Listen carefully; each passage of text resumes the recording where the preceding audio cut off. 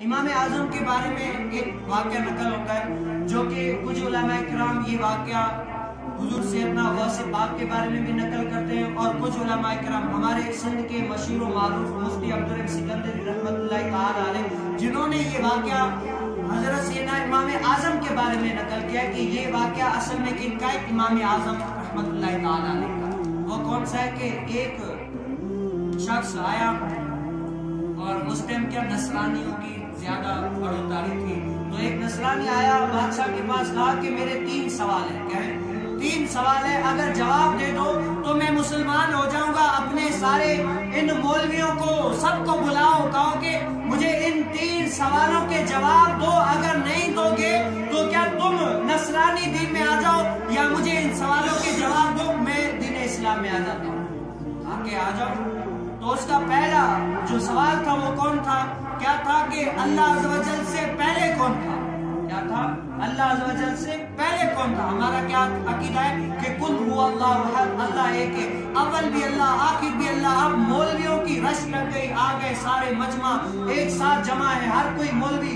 ये लगा लगा कर कह कर थक गए कि भाई अव्वल भी आप अल्लाह, आखिर भी अल्लाह। यानी अल्लाह ही अल्लाह से, अल्लाह ही है, इससे पहले हर, पहले भी अल्लाह था, अब भी अल्लाह है। अल्लाह ही है लेकिन क्या वो कहता है, नहीं भाई, मुझे समझाओ, इस तरह नहीं। जब तक समझाओगी नहीं, तब तक मैं नहीं मानता अब मौलवी सर चढ़ा कर लगा रहे, लेकिन कोई जवाब ही नहीं देता। दूसरा क्या था कि अल्लाह कहाँ का हर जगह, वैसे तो अल्लाह जल के लिए जगह मुहैया करना ये जायज़ नहीं है। क्या अल्लाह अभी जो है ना, कहाँ देख रहा है? उसका ये दूसरा सवाल। क्या अल्लाह जल कहाँ देख रहा है? तीसरा जवाब क्या था? कि अभी अभी अल्लाह जल कौन सा काम कर रहा है? अल्लाह जल के कितने काम है? पानी बरसाना, लोगों को रिस्क देना, इतना सारे अल्लाह जल के काम है। अभी अभी कौन सा काम कर रहा है? तीनों सवाल अहम थे। तो मौलवी, हर कोई दलाल दे रहा है, दे रहा है, लेकिन क्या वो कह रहे हैं, ऐसे नहीं, मुझे वो दलाल समझाओ, ताकि मेरा जहन माने, ऐसे ही नहीं। तो उस टाइम कहते इमाम आज़म की जो उम्र थी ना, वो छह साल, सात साल इतनी साल सात साल छोटा सा बच्चा होता है। तो इमाम आज़म कहते हैं कि क्या हुआ? रश लगा हुआ वजह क्या है? मुझे बताओ। तो वो कहते हैं कि एक नसरानी आया कहते हैं कि ये ये सवाल है।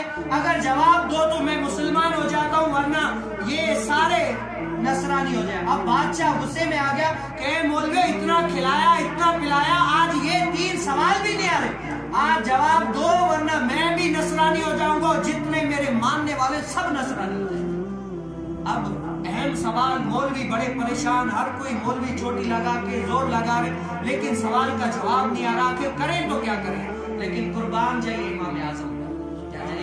मान जाइए? इमाम आज़म पर छह, सात साल की उम्र है। कहते हैं कि लोगों, उसको कहो, बादशाह को मैं जवाब देता हूँ। अब बड़े बड़े ओलमा बड़े बड़े अकाबरीन है, लेकिन क्या छोटा बच्चा कहते हैं, मैं जवाब देता हूँ? अब कहा कि, बुलाया जाए, देखा कि बादशाह भी कुर्सी पर बैठा है और वो नसरानी भी कुर्सी पर बैठा है। उलमा इकराम जवाब दे रहे हैं कुरान हदीस से, लेकिन क्या वो मानने के लिए तैयार नहीं है?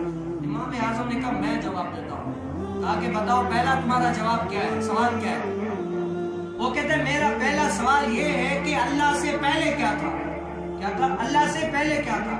इमाम आज़म ने फरमाया कि अच्छा मैं इसका जवाब देता हूँ। आसान की बात है, मुश्किल थोड़ी है। तुम ऐसा करो, मुझे दस तक दस से पीछे पीछे गिनती सुनाओ क्या सुनाओ दस से पीछे क्या आता है नौ उसने कहा दस से पीछे नौ नौ से पीछे आठ आठ से पीछे सात सात से पीछे छह छह से पीछे पाँच पाँच से पीछे चार चार से पीछे तीन तीन से पीछे दो दो से पीछे एक कि आगे जी, आगे तो कुछ है नहीं, ज़ीरो है। नहीं नहीं, इमाम आज़म ने कहा, एक से पहले भी कुछ ना कुछ होगा, बताओ। कहा कि नहीं भी, एक से पहले कुछ है ही नहीं, वो ज़ीरो है।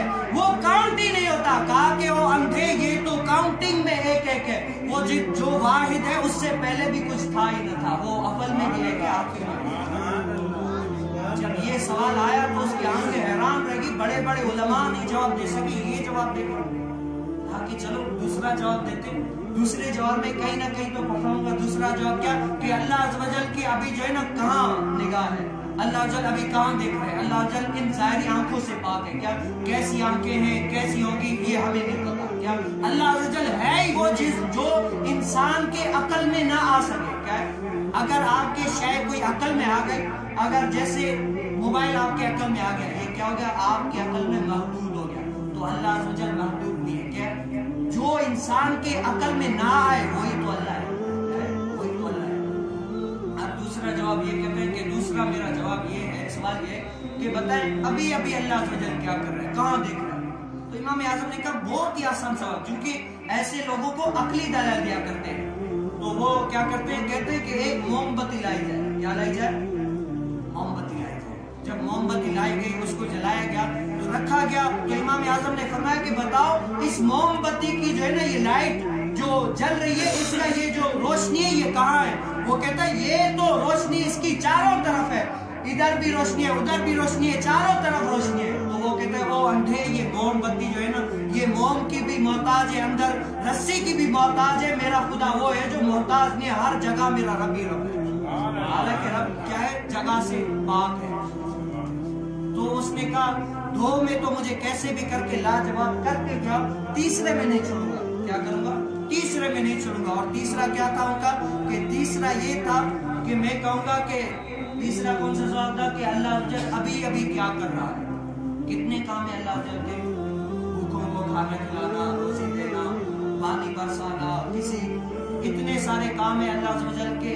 लेकिन क्या ये कोई एक बताएगा, मैं कहूँगा, ये नहीं काम कर रहा उसने कहा, मैं ये बताऊँगा, उसने कहा, ये काम नहीं कर रहा यानी किसी किसी कहा कि हाँ तीसरा जवाब, सवाल क्या है? कहा कि, मेरा तीसरा सवाल ये है कि अभी अभी अल्लाह क्या कर रहा है? अभी अभी अल्लाह क्या कर रहा है? तो इमाम आज़म ने फरमाया कि, मैंने दो दो सवाल के जवाब दे दिए। अभी तीसरे के जवाब तुम्हारे बाप का नौकर नहीं होना। उतरो यहाँ से, पहले तुम क्या करो, इस जो डेस्क पर बैठे हो उससे उतरो, मैं बैठता हूँ, फिर तुम्हें इसका जवाब दूँगा। बात चाहता उतारो इसको उतारा गया इमाम आज़म जो है ना छह सात साल की उम्र है जाकर तख्त पर बैठे कुर्सी पर बैठे तो इमाम आज़म मुस्कुरा कर कहते अब करो सवाल तीसरा सवाल क्या है? कहा कि बताओ अभी अभी अल्लाह जल क्या कर रहा है? तो इमाम आज़म फरमाते वैसे तो अल्लाह जल के इतने काम है इतने काम है ओ नसरानी अल्लाह जल का अभी एक ये काम था कि तुझे नीचे उतारा और मुझ छोटे से बच्चे को डेस्क पर जब ये भी जवाब दिया तो लाजवाब हो गया क्योंकि अल्लाह जिनसे राज़ी होता है, उनको अकल, फहम इतनी देता है कि बराबर हम जिनकी तकलीफ़ करते हैं, कोई आम नहीं, कौन से इमाम आज़म जिनके करोड़ हो, पेशवा करोड़ों इनके मानने वाले।